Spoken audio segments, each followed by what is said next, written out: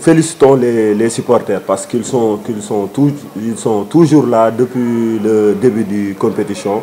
Et grâce à eux, ils nous ont poussé du début à la fin du match. Et vous avez vu à la fin, euh, nous avons gagné ce, ce match et grâce aux, supporters parce qu'ils ne nous ont pas lâché du début à la fin.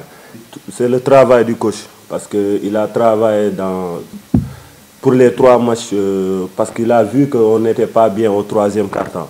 Il a beaucoup travaillé et son discours durant la, la, la crié sur nous et nous dit que voilà, vous, vous, vous commettez beaucoup d'erreurs sur le troisième quart-temps. Et chacun de nous a pris son engagement personnel et défend normalement et grâce à Dieu, on a pu gagner la, troisième, le troisième quart-temps et finalement nous avons remporté le match. Vous savez, une victoire, ça, ça relance euh, la compétition et voilà. Je me dis souvent, un match de basket, ça ne se perd pas.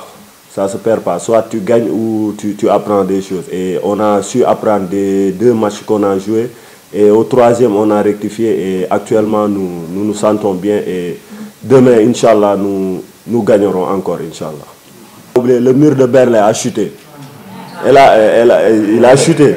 Donc, euh, je me dis que moi, je, je suis toujours optimiste dans un match de basket. Je suis toujours optimiste. Même si c'est une équipe que, qui, où LeBron James, je me dis que je vais le gagner. Parce qu'un match de basket, ça se joue à 5 ou à 12. Eux, ils sont 5, nous, sommes, nous aussi, nous sommes 5. Je les respecte. Je les respecte, c'est une grande équipe, mais moi, j'ai foi que demain, Inch'Allah, on va les gagner, Inch'Allah.